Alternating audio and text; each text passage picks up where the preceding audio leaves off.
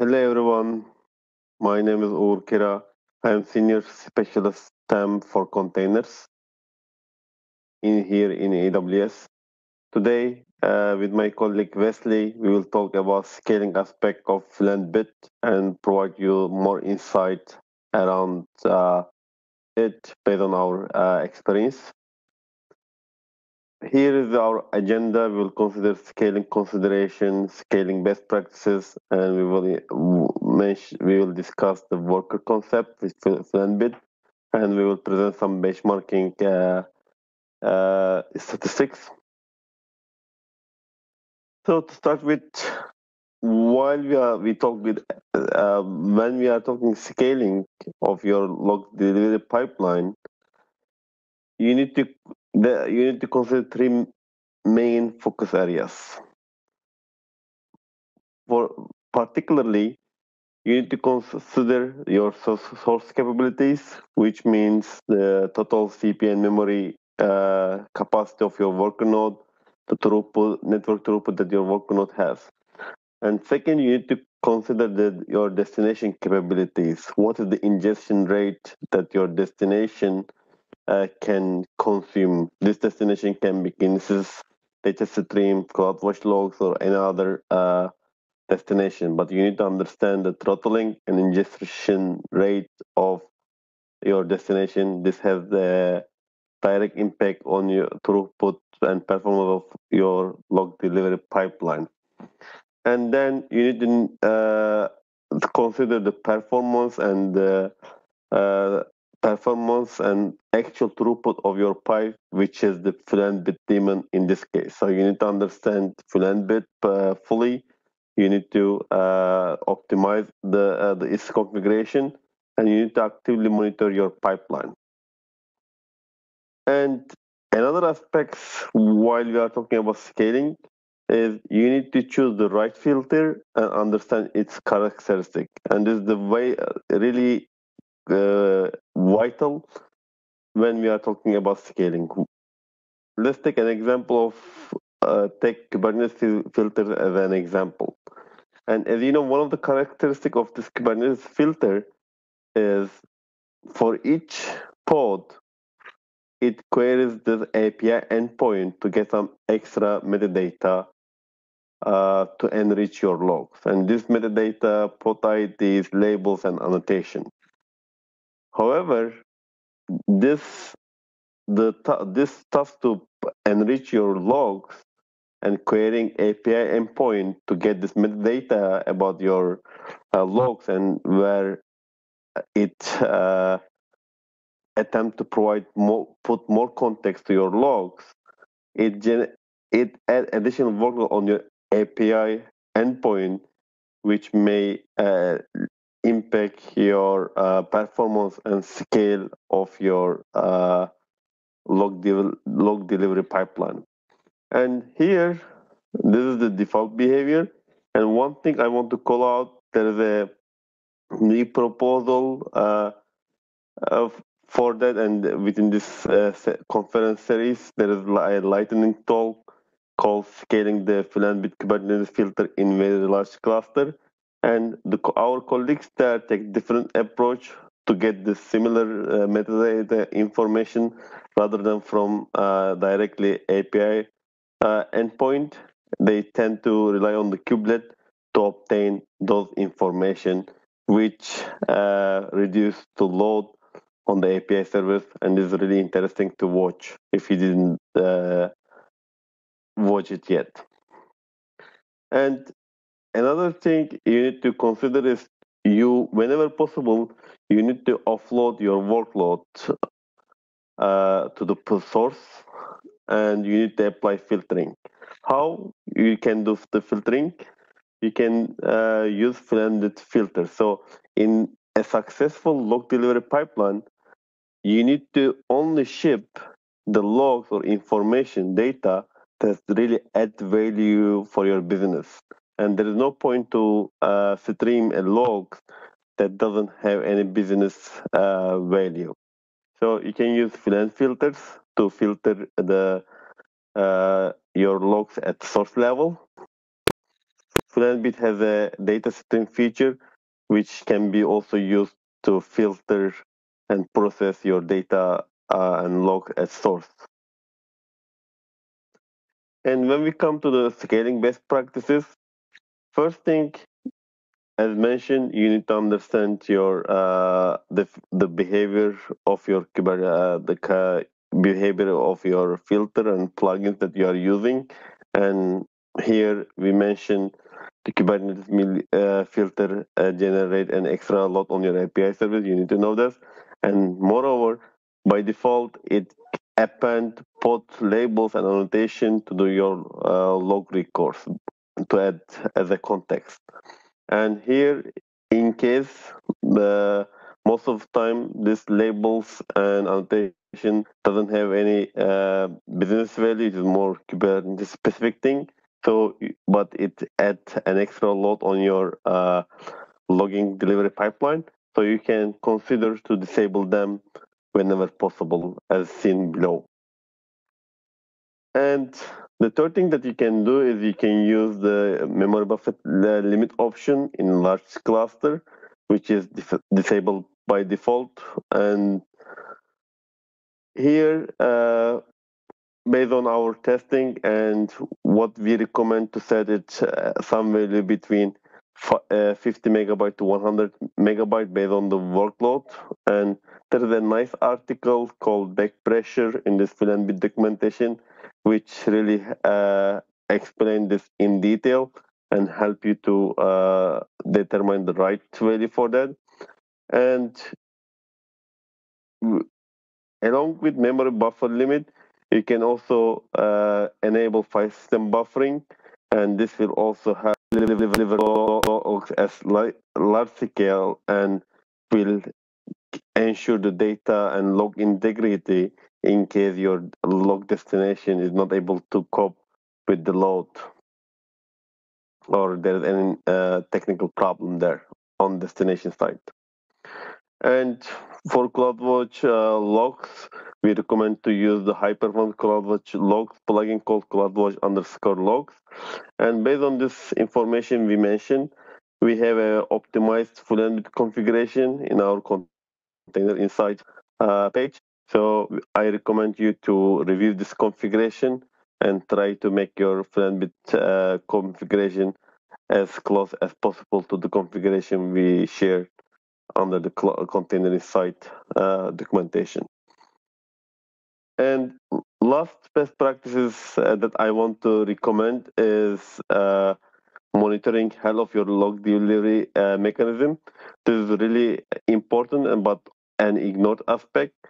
Uh, Fluentbit has a built-in HTTP server comes comes with it, and you can enable this in your Fluent, uh, config, Fluentbit configuration as you see here.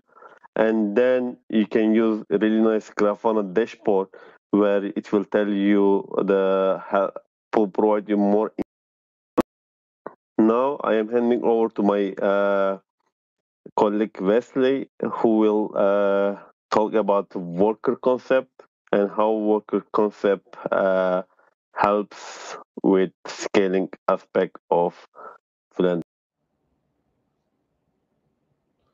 Okay. Uh, hello, everyone. Uh, I'm Wesley. Um, I am um, one of the co-maintainers of FluentBit. I've contributed a lot of code to it uh, for uh, AWS uh, plugins. Um, so I'm going to explain how concurrency works in FluentBit, which is important for understanding um, scaling with uh, FluentBit and the new worker feature that was introduced. So, so um, prior to workers, this is how concurrency worked in FluentBit. Um, FluentBit uses a model called coroutines. Uh, coroutine, I believe, is short for cooperative routine. Um, basically, um, technically, FluentBit has uh, multiple like uh, p threads in use, but um, before workers, without or without workers, um, only a single thread is active at a time, and threads cooperatively pass execution between each other. Um, so what will happen is you can think of this like so there's like the FluentBit core engine. Um, it gets some task like let's say there's some chunk of data that needs to be sent to an uh, um, sent to an uh, output destination. So then what it will do was it will invoke a uh, coroutine for the output that runs the output code, um, pass execution to it, which means the engine thread basically uh, moves execution to the coroutine. So now only the coroutine is is active. Coroutine performs some work. When it hits a network I/O call, um, rather than blocking on that call and and you know blocking into all execution, instead it will make the network call, but then it will uh, pass execution and yield back to the engine, which will then uh, take control and it can then uh, run other coroutines to complete other tasks. Um, and when the network, uh, when the uh, kernel notifies the engine that the network call has completed, then the coroutine can be uh, uh, unpaused. It can it, basically it will be sleeping and it can be um, uh, activated again. So um, the way it essentially worked is, is works is that there, there is concurrency, and in some sense there's multiple threads, but only one of them is active at a time, and they're um, cooperatively and intelligently, basically turning themselves on or off, um, so that um, network I/O calls basically don't ever uh, um, slow down the execution of the problem of the program. Uh, essentially, it's just to do asynchronous network I/O. Um, but then now in FluentBit, uh, as of uh, 1.7, uh, we have the 1.7 series, we have uh, multi workers. So with workers, um, you can increase, you, you can have multiple threads active at a time. Um, and basically, the simple story is that workers uh, are just dedicated threads uh, for outputs. So here we have an example here um, with an output you put workers one, that enables a single dedicated thread just for that output. Um, workers still actually have can have coroutines inside of them, um, which means you're still doing um, a like non-blocking network I/O to make things efficient um, and fast. It's just that now the coroutines for the output um, are all happening in the context of a, a single um, or or an extra dedicated thread just for that output. And of course, you can enable more than one worker if you want. Um, though I think in most situations, probably folks um, throughput needs can be satisfied with a single dedicated thread. Um, now, so how how how is uh, how are con- uh, concurrency and workers implemented in the actual code in the plugins? Um, so basically, all plugins have a flush uh, callback um, function that they must implement, which is called um, when they are need to be given logs that then they can send. And basically, in order to have concurrency, the uh, calls to this function must be fully independent. Um, basically, it, it, can't be storing state.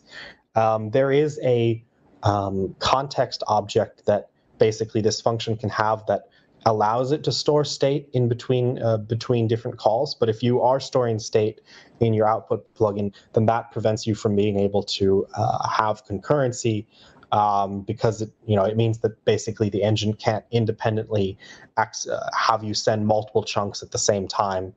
Um, also, another key thing, and this kind of follows from from that one, is that you can't have your API can't have any sort of guarantee require ordering um, where calls must be made, you know, in some sort of like order in a series, um, because there's no guarantee that that will happen when you're when you're running concurrently, because one coroutine might be, you know, performing a network call and will be sleeping, and then another another coroutine might start sending um, before the network call for the first sleeping coroutine might finish. Um, so that is one issue. Uh, with workers, um, basically almost any plugin I think should be able to support. Uh, pretty much any plugin should build output should build to support um, workers um, with only minor uh, uh, code changes.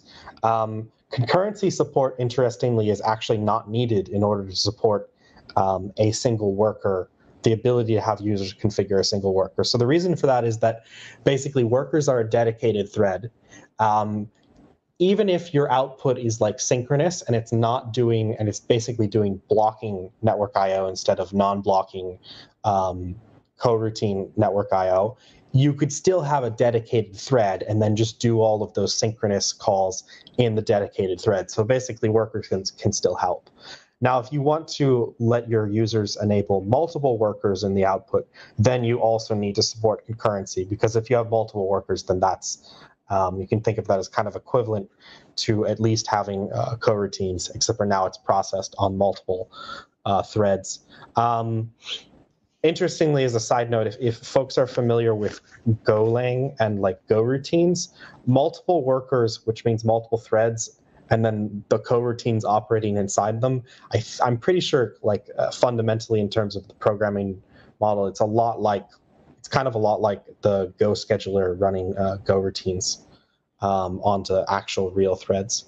Um, anyway, so this is just looking some more at the code. How do you enable uh, concurrency in workers?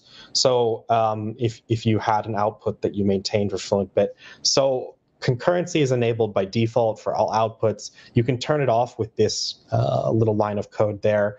I wrote a whole developer guide that explains this actually a little bit more if you want to really understand what this is doing here. But there's basically, and there's this thing called an upstream in FluentBit, which is a core networking concept representing um, uh, basically an endpoint that you're connecting to, and you can disable asynchronous calls, which will disable concurrency.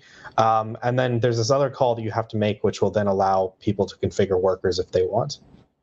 Um, okay, so then talking some more about uh, worker and concurrency support in the plugins that I maintain. So I maintain the AWS plugins in FluentBit, and there are four of them. There's S3, CloudWatch, uh, Kinesis Streams, and Kinesis Firehose. Um, so uh, basically, um, support for workers and concurrency varies. Um, so when we're talking about um, concurrency support, um, that's supported basically the Kinesis Streams and Kinesis Firehose plugins. They support everything. They support any number of workers, and they also support concurrency. Um, the S3 plugin can support uh, concurrency and multiple workers, but only if you're enabling put object, and I'll show that as the API that it uses to upload to S3, and I'll show that in a moment. Um, and then there is CloudWatch logs, which uh, doesn't support concurrency, unfortunately, but it, it can support a single worker. Um, because as I noted, any output basically can support a single uh, worker, which is a dedicated thread that then operations can happen in synchronously. Um, so here's just some example uh, output definitions to show what the what, what this all looks like. I'm omitting uh, some of the required fields that you have to configure for these outputs. Um, you can see in Kinesis Streams or Kinesis Firehose, you can enable any number of workers that you want. Um, in S3, with the default multi-part upload mode, which um, can only be enabled uh, if you, which only happens if you if you have a, file size that's uh, above, I think, 12 megabytes. Um, but anyway, you can enable a single worker. This will be um, uh, synchronous calls, um, uh, but happening in a dedicated thread. The reason why S3 multipart is non-concurrent is because the multipart uploads are a series of calls, and they require storing state, basically. So they're, they're, the plugin is not stateless. Um, this is something that I've thought about. Probably there there probably is a way to uh, allow it to to work um, with multiple threads, but um, I, I, need to rewrite the code and think a little bit more about that. Um, anyway, so then S3 was put object mode. So put object mode is an API where you're you just send an object in a single request, and so that can be done concurrently, which means you can enable any number of workers and it's fine. Um, and then finally, up here at the top, we have CloudWatch.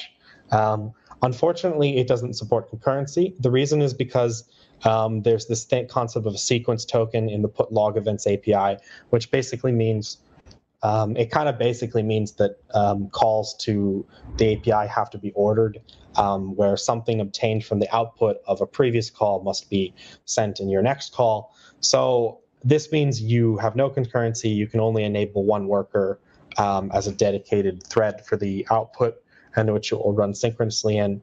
Um, in a moment, Uğur's going to show some benchmarking results. Surprisingly, despite the fact that there's no concurrency, um, it actually still performs pretty well.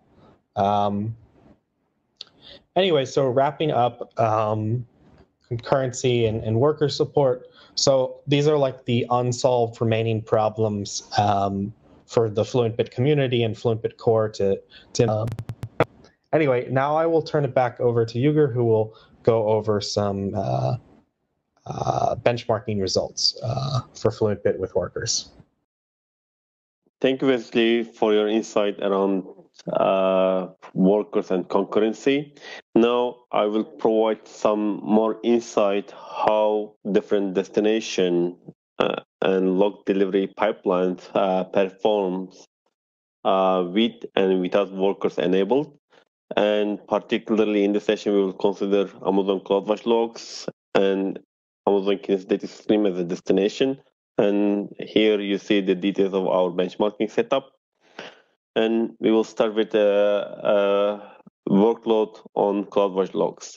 So imagine you have a, a production environment which generate around 8,500 uh, logs per second. And this is without worker enabled. And keeping all other variables uh, more or less the same and by just enabling the worker on your FluentBit configuration, we see an uh, increased throughput in terms of processing rate of FluentBit. And as we see here, enabling worker nodes and by keeping all the other variables uh, uh, stable has really major impact and improved the log processing uh, performance uh, dramatically. And when we look to the uh, the logs uh, delivered in terms of logs delivered in terms of network performance and here, uh, the similar workload generate used to generate two megabyte per second logs and stream the, the capacity over. Uh, this was the capacity over pipe, and parallel to increase in the uh, number of logs that is uh, number of logs that is uh, processed in previous slide, and after enabling the workload, the uh, delivery throughput in terms of networking also increased as we see here. So one thing additional we did is like we wanted to see uh, impact of the work enabling work on or our resource con consumption and uh, and how the how it uh, what are the extra load it brings in terms of CPU and memory to the, our cluster. So here just numbers when we uh, we get while we test the uh, FluentBit uh, with without worker uh, for with uh, 1000 and 5000 uh, logs per second and this is the CPU and memory uh, values we captured on the FluentBit uh, pods that's uh, stream the log. And when we have the similar workload, when we enable the workload, what we we see is uh, the memory utilization is more or less the same, and there is no any increase. And the CPU utilization increased slightly. And when we look the same figures at 5,000 logs per second with worker enabled, we see an increase on uh, CPU utilization, and whereas the memory utilization more or less stays stable. So this means enabling Vulkan have an uh, addition uh, has a minimal impact on the resource consumption, and where the uh, memory utilization at pod level remain more or less uh, more or less stable, and it caused an increased CPU utilization. And now, when we be- benchmark the uh, Kinesis data stream, so we built a pipeline, log pipeline, including data stream, where we use the uh, Firehose to stream the data to the S3. So log generated through the Kinesis data stream, the data Firehose shipped into the S3. And here the view on AWS console. And here, imagine we have this setup running and in our production, we generate around 4,000 logs per second. And then keeping all other variables the same by just enabling the workload, we see that uh, our process, uh, incoming process rate increased dramatically. And when we look the increase in terms of uh, networking throughput, and we will experience the same, uh, where uh, parallel to uh, processing increase in processing rate of the logs, our throughput also increased. And one thing here, these numbers are not the max, uh, max throughput limits of the setup.